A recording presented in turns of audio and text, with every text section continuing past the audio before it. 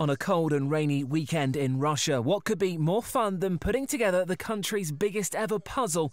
That's exactly what more than 200 people in the city of Novosibirsk have done. They put together 1,023 pieces to reveal a replica of German painter Albrecht Dürer's self portrait.